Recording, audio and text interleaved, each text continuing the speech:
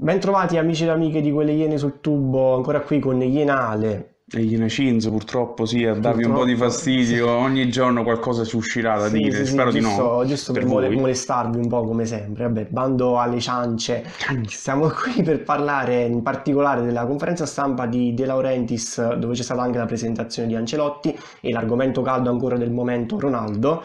E nello specifico anche l'affare ovviamente vabbè, di Jorginho, il passaggio di Jorginho per 55 milioni, un vero affare a nostro 65, avviso. 65 attenzione. milioni, un vero affare a nostro avviso. Eh. Sì. Ai Blues, al Chelsea, beh insomma partiamo Partendo subito. dall'inizio, insomma, andando per gradi, eh, volevamo parlare, Cenzo, dici tutto, di queste parole di De Laurentiis, sul, in particolare su Ronaldo e sugli introiti, spiegaci tutto. Allora, prima, prima di tutto faccio una premessa eh, dicendo che De Laurentiis da molti non è amato come presidente, eh, sebbene sì, non è forse un presidente che mira a far vincere la squadra, ma vi posso assicurare che come imprenditore ha alle palle, assolutamente un grandissimo imprenditore e lo dimostra il fatto, per l'appunto, ultimo, Di eh, cessione fatta, Jorginho, 65 milioni al Chelsea, che secondo me personalmente Secondo non gli vale manco alla lontana, Vabbè, 65 secondo lui è un per quanto Jorginho... in particolare per il Cinzo, perché Jorginho non è mai andato a genio, No, diciamo. Jorginho è un ottimo giocatore, si, si sistemava benissimo nel modo di giocare di Sare, però sinceramente 65 milioni non li vale perché con quella cifra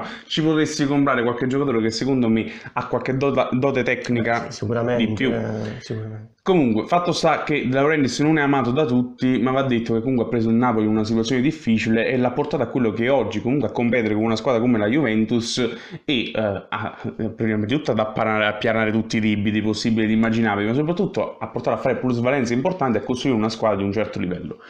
Diciamo che De Laurentiis ha eh, colto un punto quando gli è stato chiesto se Ronaldo avesse, avesse portato qualche beneficio eh, al Serie A in genere Esatto. e lui giustamente ha mh, diciamo, battuto il chiodo su un argomento, quello dei diritti televisivi, che lui sta molto a cuore da parecchi anni, che ne parla e che si, diciamo, un pochettino inalbera nei confronti eh, di chi pone la domanda o di tutti quelli che ascoltano per la questione dei diritti televisivi. Perché? Perché De Laurentiis ha detto che i diritti tele- televisivi, eh, che ormai sono stati chiusi, non avranno vantaggio, almeno per quanto riguarda quelli della Serie A, perché poi quelli esteri sono a parte, non avranno vantaggio del fatto che è arrivato Ronaldo perché prima di tutto non è stata messa assolutamente un'opzione per poter eh, ricontattare gli sponsor, per poter ricontrattare il contratto in essere e quindi non sarà possibile dire eh, bussare, proprio come ha detto lui, bussare alla porta degli sponsor e dire senti io ho Ronaldo invece di darmi 750 milioni per i prossimi tre anni ne voglio almeno un miliardo e Che tutto 250. ciò appunto è stato fatto prima dell'arrivo di Ronaldo in pratica. Sì, e io do ragione assolutamente De Laurentiis per il fatto che questa opzione eh, dal punto di vista contrattuale manchi per poter ricontrattare gli sponsor, ma io do ancora più ragione su quello che ha detto in passato, addirittura minacciando di togliere eh, il Napoli eh, dalla, dalla Serie A, di ritirare la squadra per la questione dei diritti televisivi, perché effettivamente chi come lui, un imprenditore come lui, non può eh, capire una situazione del genere quando ha affermato che i contratti quadriennali addirittura, oh, questo ovviamente l'ultimo che è stato fatto è stato triennale, però all'inizio era pensato un contratto quadriennale, ovviamente quattro anni, diceva lui, con le grandi piattaforme di streaming, di condivisione, di media che stavano crescendo come YouTube, come eh, la stessa Amazon che si sta inserendo sul mercato, non si poteva mai sapere cosa sarebbe successo e quindi fanno un contratto così lungo avrebbe ovviamente tagliato le gambe all'intera Serie A.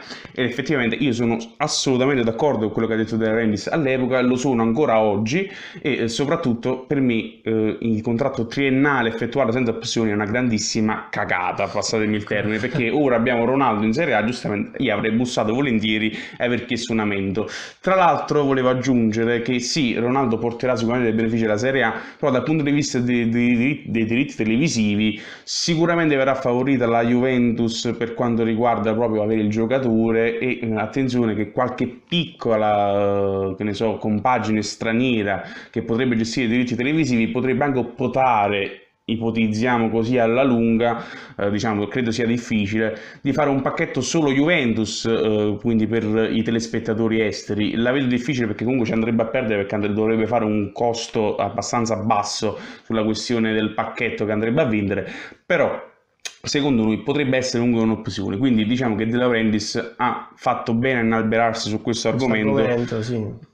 Comunque, fatto sta che il povero De Laurentiis, presidente del Partito Europeo, è vero che ogni tanto se ne esce con qualche cagata di troppo, però quando ah, ha ragione ha ragione e va detto. Poi, dopo che ha fatto sta fare Giorginio, insomma, ci sta a dare un po' di voce a De Laurentiis.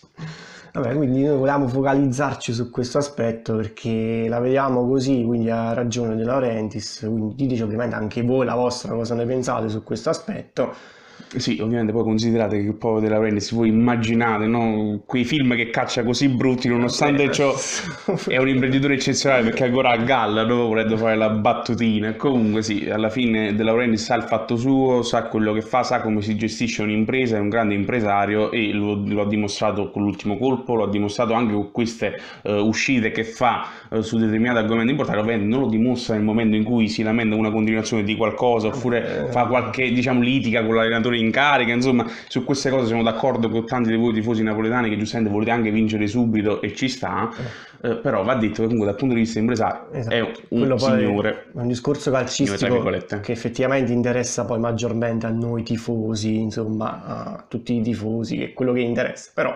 Comunque, diciamo, dopo questa marea di chiacchiere che abbiamo fatto, 7 minuti di rompimento di Cones, andiamo avanti e vi diciamo ci vediamo a un prossimo video e statevi bene. Ciao!